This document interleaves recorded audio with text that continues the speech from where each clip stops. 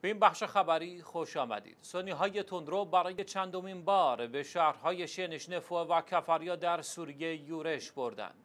منابع میدانی از شهرهای محاصره شده فو و کفریا در استان ادلب سوریه اعلام کردند که عناصر گروه تروریستی جبهت و نصره که با اعتلاف با دیگر گروه ها به تحریر و شام تغییر نام داده با نقض آشکار آتش بس تلاش کردند به مواضع نیروهای مردمی مدافع این دو شهر شینشین نفوذ کنند.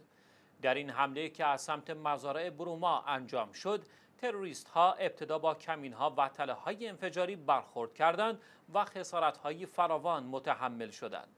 در ادامه تغییری در این حمله و در نقشه میدانی منطقه صورت نگرفت و شماری از سنی های تندرو به حلاکت رسیدند و یا زخمی شدند.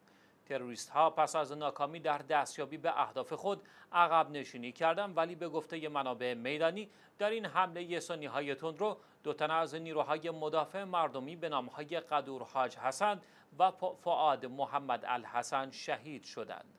شاین ذکر است پس از اشغال شهر و استان ادلب واقع در شمال غرب سوریه و هم مرز با ترکیه توسط سنی های تندرو دو شهر شینشین فو و کفاریا به محاصره درآمدند.